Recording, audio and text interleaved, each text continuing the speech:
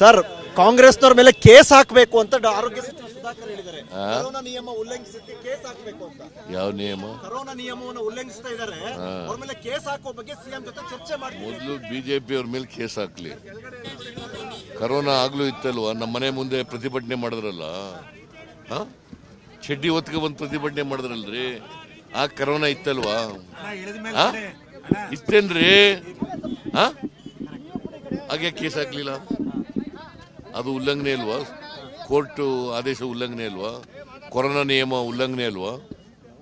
ಹಾಗೆ ಅವ್ರ ಕಾರಣ ಅಲ್ವಾ? ಬಿಜೆಪಿ ಅವ್ರ ಕಾರಣ ಆಗಲ್ವಾ? ಸಿ ಇವತ್ತು ಪ್ರಜಾಪ್ರಭುತ್ವದ ಪ್ರಜಾಪ್ರಭುತ್ವ ಹತ್ಯೆ ಆಗ್ತಾ ಇದ್ರು ಕೂಡ ಸುಮ್ಮನೆ ಇರಬೇಕಾ? ತುರ್ತು ಪರಿಸ್ಥಿತಿ ತಗೊಬಂದ್ರು ಕೂಡ ಸುಮ್ಮನೆ ಇರಬೇಕಾ? ಮೂಲಭೂತ ಹಕ್ಕುಗಳ ದಮನ ಆಗ್ತಾ ಇದ್ರು ಸುಮ್ಮನೆ ಇರಬೇಕಾ? ಸಂವಿಧಾನ ತಿದ್ದುಪಡಿ ಮಾಡ್ಬಿಟ್ರ ಹತ್ತೊಂಬತ್ತು ಆರ್ಟಿಕಲ್ ನೈನ್ಟೀನ್ ತಿದ್ದುಪಡಿ ಆಯ್ತೇನ್ರಿ?